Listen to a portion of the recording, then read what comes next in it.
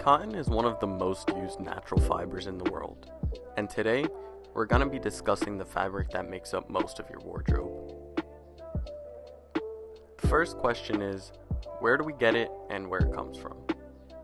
Well, pretty much cotton is made up of natural fibers from, well, you guessed it, cotton plants. And this plant is grown in any tropical climate.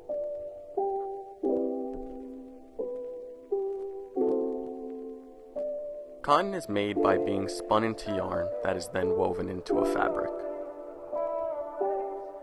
There are four different types of cotton materials. These four include organic cotton, which is 100% pure cotton grown without chemicals or GMO. Second being Pima, the finest type of cotton, extra long and soft fibers. It is resistant to fading, wrinkling, and tearing so this is definitely my favorite type of cotton. Third being Egyptian.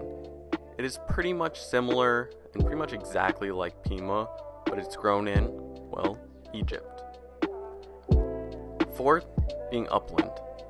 This is the most common type of cotton. It's 90% of the cotton grown in the world.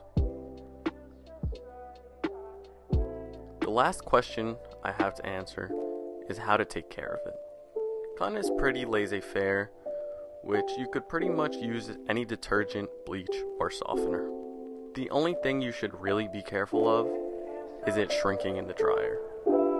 So I would either hang dry these or use a low temperature when tumble drying. Hopefully you enjoyed and learned a little something about cotton, or you know everything already and I suck. But either way, like, subscribe, and follow the Instagram. Thanks guys. Peace.